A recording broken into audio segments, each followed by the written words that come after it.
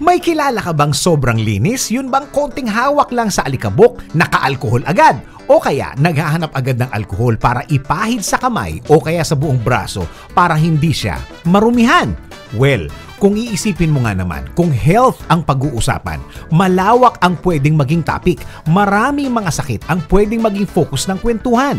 Pero alam mo ba na nakakonek ang pagiging malinis nila hanggang bahay? At alam mo ba na may mga pag-aaral na mas malusog ang mga taong malinis at maayos sa bahay? Ito na ang pag-uusapan natin. Mga taong malinis at maayos sa bahay, mas healthy kesa merong magulo at maduming bahay. Ayon yan sa mga eksperto.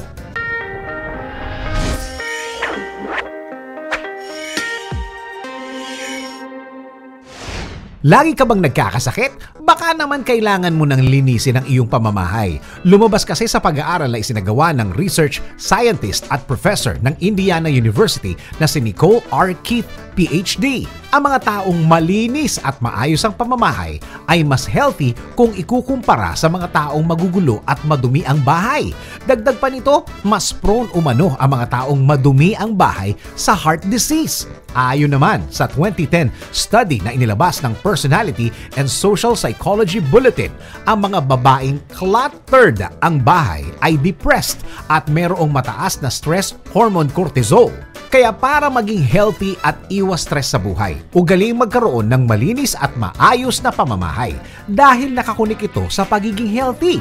At sa kapag nakakita ka ng bahay na maayos at malinis, nai-impress ka at aakalain mo na tahimik at maayos din ang relasyon ng mga taong nakatira sa bahay na yun.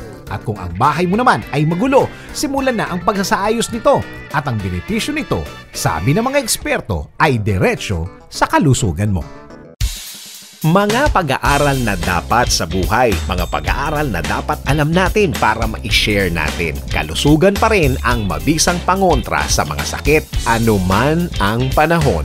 Kaya, hear good things, watch good things, like, share, and follow so you can live the love, love the life.